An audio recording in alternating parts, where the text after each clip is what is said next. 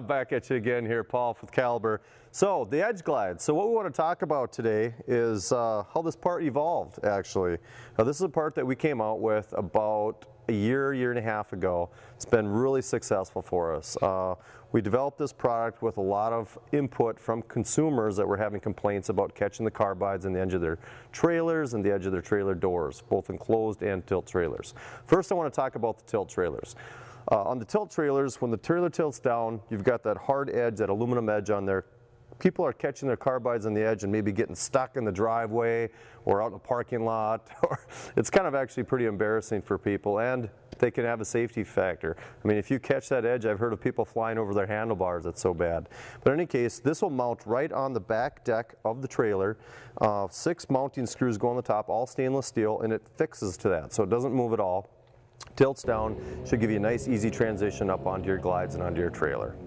Now the enclosed version, a little bit different. We come out with a stainless steel hinge.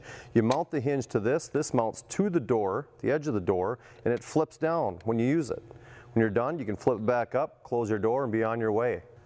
Now another good option is to have this, I've heard of people using it on the doors, but I've also heard of a lot of people using it as a space gap between the door and the trailer deck. So they're using it up there, up in the front, both on the front door and on the back doors. And it's really providing a nice transition up into your trailer.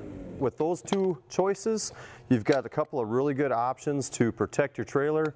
Again, everything that from Caliber comes with a lifetime warranty. Thanks, we'll see you on the trail.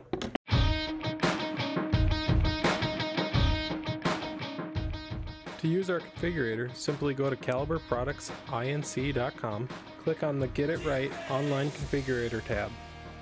Choose the trailer that most resembles yours, pick your length and features,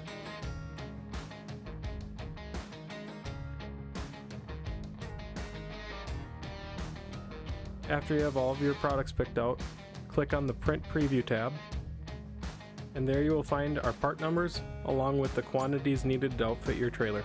And don't forget to like us on Facebook to keep up with our new products, giveaways, and top riders.